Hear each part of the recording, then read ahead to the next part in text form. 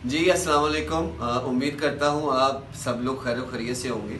जैसा कि आप लोग जानते हैं, पाकिस्तान और जिम्बाब्वे सीरीज़ आज ख़त्म हुई और बड़ी मुश्किल से पाकिस्तान ने ये सीरीज़ जीती है और बड़ा दुख होता है ऐसी चीज़ें देख के। जैसा कि आज का मैच था कि जिसमें एक बंदा डेब्यू कर रहा है। आपने उसको सुपर ओवर के लिए भेज दिया एक बंदा सौ रन बना के आउट हो रहा है और आपने उसको क्रीज पे नहीं भेजा। तो ये डिसीज़न बड़े बड़े दिल को दुख पहुँचता है कि पाकिस्तान का एक मैार है, पाकिस्तान की क्रिकेट का दुनिया में नाम है, कि जब हम ऐसी चीज़ें करेंगे तो हमारा मैार गिर जाएगा।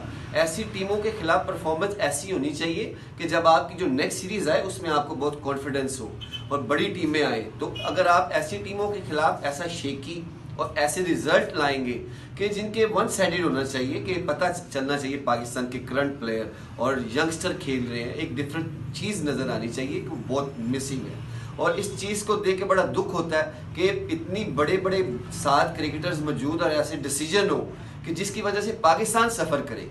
तो इन चीज़ों पे प्लीज़ कंट्रोल करना चाहिए। ये बड़ा बड़ा डीपली एक चीज़ है कि पाकिस्तान जब जीतता है तो बड़ी खुशी की बात होती है, पूरी दुनिया में इस चीज़ को निखारा जाता है, इस चीज़ का मैार होता है। और लेकिन ऐसी मैार, इस ऐसी क्रिकेट को देख के लगता नहीं है कि पाकिस्तान आगे किसी भी टीम को टफ टाइम दे सकता है। और ये चीज़ें बड़ी मुश्किल का सामना है। पाकिस्तान की पहले सिलेक्शन गलत है कि एक मैच में चार फास्ट बॉलर दो स्पिनर्स का होना बहुत ज़रूरी है। आपके पास रेगुलर स्पिनर्स हैं भी, कुछ अनफिट हैं। लेकिन आप और यंगस्टर को जमाएँ कि उनको भी आपका पता चले कि आगे उनको खिलाना है कि नहीं खिलाना। प्लीज़ इन चीज़ों पे गौर किया जाए कि पाकिस्तान की क्रिकेट के लिए बेहतरीन। Thank you